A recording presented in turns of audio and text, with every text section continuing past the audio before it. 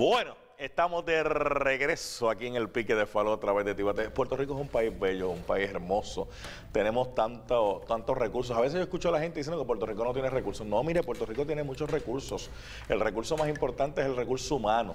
Pero no solamente eso, tenemos un país bello y hermoso que le podríamos estar sacando un provecho eh, más de lo que estamos haciendo y lamentablemente no, no, no estamos aprovechando eso. Eh, Puerto Rico es un país, eh, mire, este, esto es eh, eh, la joya de la corona, la joya de la corona. Ah, que tenemos problemas con el gobierno. ¿Qué usted quiere que yo le diga? Pero por ejemplo, usted sabe esos atardeceres en Rincón. Acá no tú estabas en Rincón, y esos atardeceres allá. Yo soy del oeste. Ah, Este, Rincón, Bello, hermoso, La ¿verdad? Palguera, todas esas áreas de Isabela, esa era mi área de acción. No, y si tiene, y si tiene oportunidad de llegar a Rincón de momento y, y ve las ballenas que van a. Chacho, eso, eso. Licenciado Yaron Garfield, usted ha ido a Rincón, Me ¿verdad? encanta Rincón y estaré ahí este fin de semana. Voy a estar por Re- ahí. Re- Remy estaba en Rincón, ¿verdad? Eso, bello. Todo es hermoso y la, y la palguera, estuve por allí. Y es, es curioso cómo se ven las estrellas. ¿Verdad, ¿Verdad que sí? Que se La bahía ahí. luminiscente, Sí. muy bonito. Sí, quien ha estado en Rincón es la Oficina de Ética Gubernamental. A esa sé que estaba en Rincón, ¿verdad? Sí, definitivamente. La semana pasada surge a la luz pública un informe de la Oficina de la Contralora eh, que le imputa una serie de, ¿verdad? de hallazgos al municipio, pero hay dos en particular que atañen a la Oficina de Ética en contra de dos empleados que utilizaron su computadora para adelantar eh, cuestiones personales, incluyendo políticos partidistas. Esos dos casos fueron eh, eh, resueltos por la Oficina de Ética mediante la interposición de querella. Uno pagó 8 mil dólares y otra pagó 4 mil dólares.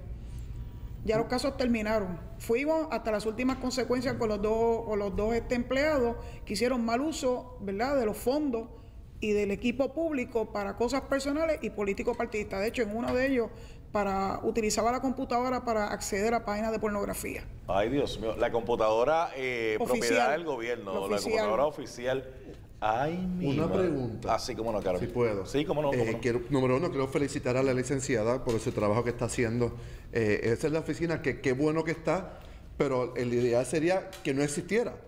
Pues no hubiera gente que estuviera trabajando eh, Estoy de acuerdo. de- este, sin Yo ética. quiero volver a sembrar plantas.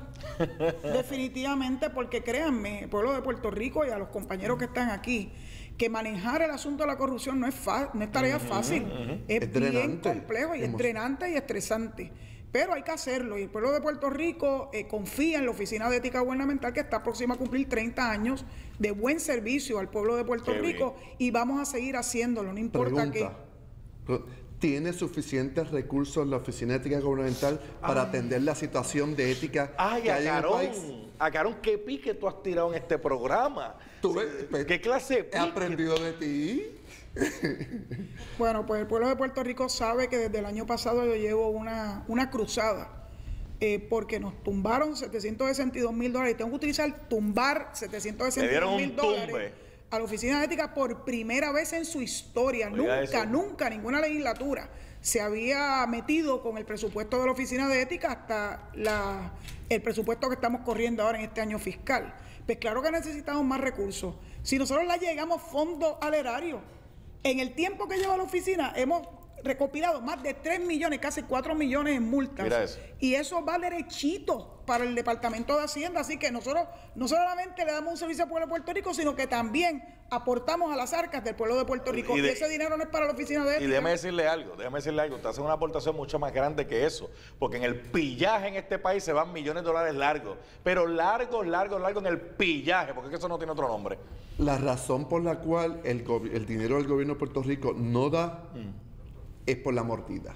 Sí, sí. Entonces nos, nos en quieren, nos quieren meter un IVA, nos quieren meter un IVA, eh, supuestamente dije Ese para el resolver el elefante problema. blanco que está en el salón. Sí, y dije para resolver el problema. No, no, para el gobierno tener más chavo, para el gobierno tener más chavo, En gran licenciado. medida, eso es muy cierto lo que dice eh. Acarón, eh, pero la realidad es que la licenciada no lo va a decir, pero la razón por la cual le bajaron el presupuesto fue una medida totalmente politiquera, de mi punto de vista, habiendo un gobernador del partido eh, que no nombró a la directora, quien ha estado haciendo un trabajo de primer orden en la oficina.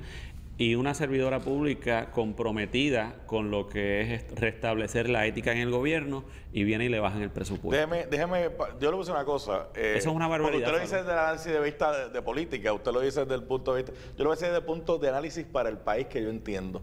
La oficina de ética le ha metido mano a Raimundo y todo el mundo. Le ha metido mano a PNP y a populares. Ahí no le ha temblado el pulso. O sea, esa oficina se deberían Independentistas dar, también. el- se deberían dar los recursos necesarios. Es más, deberíamos asignar más recursos. Lo segundo, Hay que asignar más recursos para sacar este es más, pillaje del la gobierno. próxima vez que vaya a defender su presupuesto, debe reunir a un grupo de organizaciones que vamos a ir a apoyarla para que se le asignen los fondos éticos para sanear el, el servidor público, el servicio público en Ah, Puerto mira, Rico. mira, pero eh, yo creo que el, mira, fíjate, eso Yo- es parte de la democracia.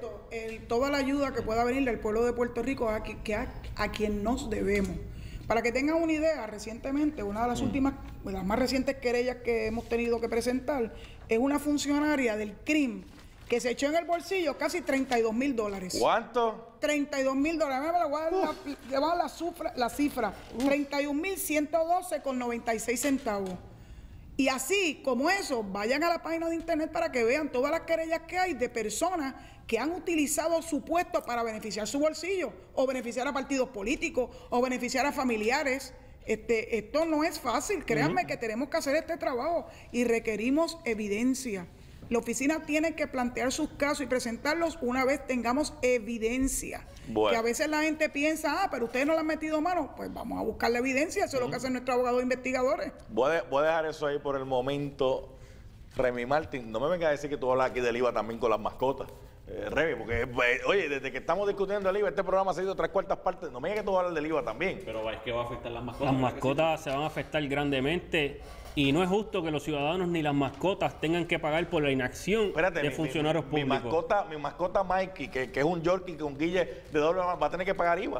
También se van Adiós. a afectar sus servicios, mantenimiento, su cuidado.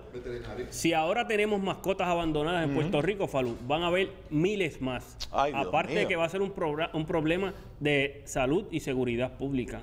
¿Por qué? Porque lo que es la rabia, la leptospirosis, son enfermedades letales que podrían matar lo mismo que un niño, un anciano y Ay, un adulto. santo. Necesitamos el compromiso de todos y que valoren la labor de todos los rescatistas en Puerto Rico que están haciendo la labor del gobierno de Puerto Rico en rescatar y darle una calidad de vida a todos esos animales en Puerto Rico. Ve, acá, este, por ejemplo, el veterinario, eh, cuando alguien lleva su, su mascota al veterinario, ¿le cobra IVU? Cobran todos los servicios IBU, aparte en O sea, quiere decir que, que- que se aprueban el IVA de- del 7, tendrán que estar pagando 16%. es muy lamentable. Las vacunaciones, esterilizaciones, todo va a subir. La comida de, de las mascotas, los boarding cuando se rescata una mascota. Hay rescatistas aquí que envían mascotas a Estados Unidos. ¿Cuánto va a costar el pasaje? Sí, porque, porque aquí hablan de aquí hablan de los... Y que ir al- y llevar al, al perro al veterinario es mucho más caro que uno ir al médico. Sí, sí, definitivamente. Mucho más. Sí, eso que te estoy preguntando, definitivamente. Pero fíjate que aquí se discuten en los planes de salud, no, que la salud esté exenta, no, que esté exenta, pero los planes médicos para las mascotas no, y la mascota, señoras y señores, es parte de la familia. Gobernador, usted lo sabe, si usted tiene mascotas allí en su casa, eh, usted tiene mascotas. Es muy lamentable y, y nos, y nos podemos ver en el caso de ayer, 12 perros y 19 gatos en, en una casa reposeída, Ay, Dios. comiéndose unos a los otros y, y se está buscando un veterinario pro bono para hacer una necropsia a uno de los perritos muertos para poder encauzar a la persona.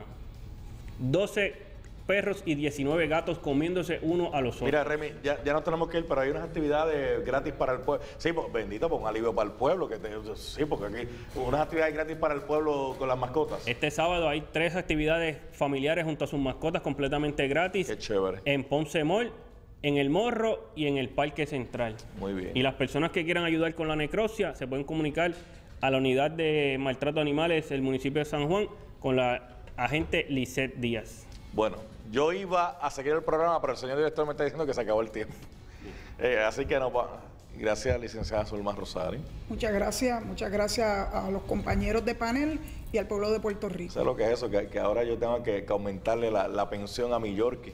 Este, ay, Dios mío. Yo tengo tres perros y una gata, va a estar fuerte. Gracias, José Carón.